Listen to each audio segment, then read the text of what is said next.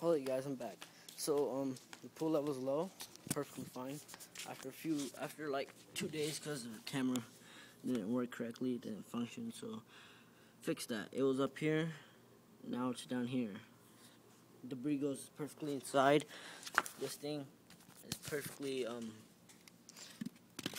Now it's way down there, so if you want to get the basket out, you could just get this thing and um Open it. There you go. You got your basket out. Okay. So see, I have a rock in there because the thing doesn't. It's not um. How do I say it, guys? Like.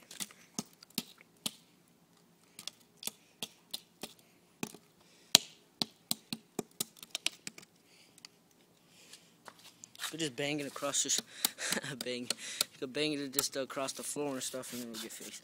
Then, if you, this is a problem that most, a lot of them have it'll you put it down it just goes back up. That's because you need weight. Throw that rock in there it should bring it down. As you see it brought it down. Okay. So as you see it's way lower than before. Now it's like right there. Before it was on the concrete so filter didn't operate operate correctly and the pressure went up. Now it's good. This guy that this is the problem that causes it all to happen so as see, this thing's like broken. It doesn't let you move it or anything. It just stays there.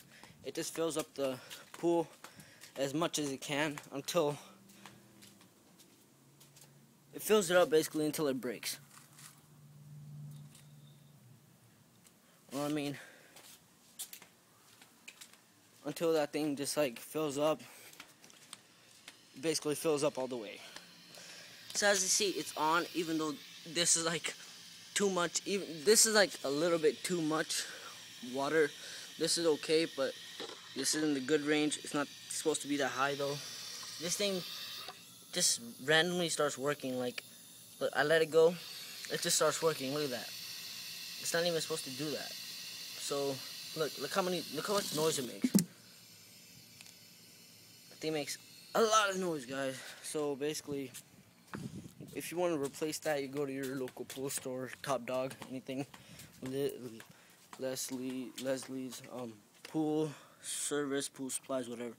Amazon.com, eBay. I don't recommend buying stuff off of eBay because they rip you off sometimes. But um, basically do that and it should be good. Replace it. Turn off your water while you replace it. And um, yeah, that's basically it, guys.